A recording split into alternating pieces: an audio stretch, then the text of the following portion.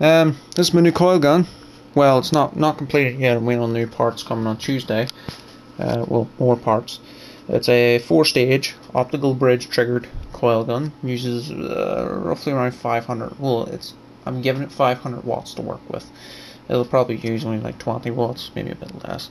Um, I'm going to be pulsing it at about 20 times a second to uh, get projectile speed. Um, I'm going to be using MOSFETs and resistors to control the current flow. Uh, the MOSFETs aren't here yet. Um, you might be asking why I've got this wee microfan on this here inductor. This inductor is to stop it shorting my power supply, which is a PC power supply. And uh, that inductor has to handle over 22 amps at any given time. I've also got another fan there to blow air over the MOSFETs. I'm going to have a heatsink on them to cool them. Uh, but uh, this little fan is just to cool that there inductor down. And there. I have this wee uh, xenon lamp. That there's to tell me whether or not this here is giving massive voltage spikes so I can uh, just for test you know.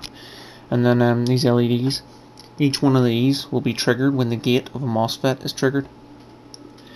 So uh, how it works. Basically you put the projectile here. It'll be sitting here Mine, most people just leave the coils on. I can't because they'll overheat and melt the tube.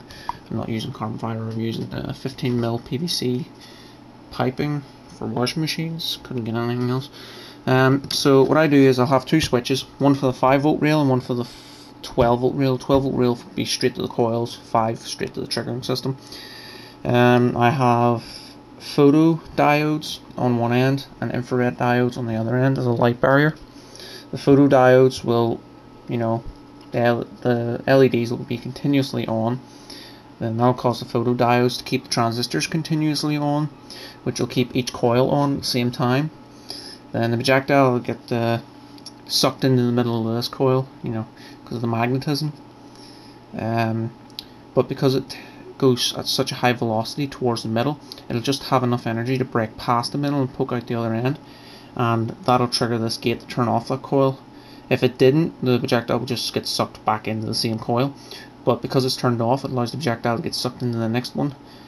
And then light barrier turns that one off, and onto the next one, and then onto the next one, and then eventually straight out the barrel. Um, when I'm using the 16 gauge copper wire, um, I don't know how many turns there is here, but I know I've done it 4 high. 4 high by about 15 turns.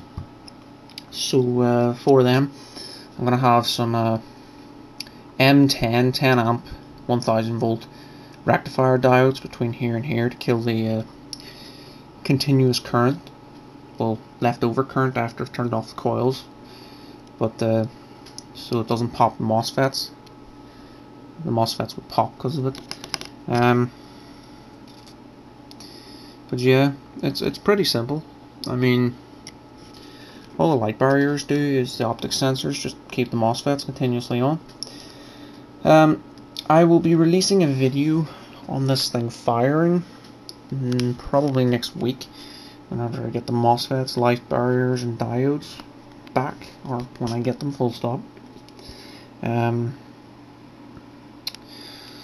yeah, it's pretty cool looking. You can probably see down the barrel. It's pretty straight, smooth bore. Be firing uh, 10 mil slugs out of it. Yeah. Thanks for watching. Don't forget to subscribe, like, and leave a comment. Cheerio.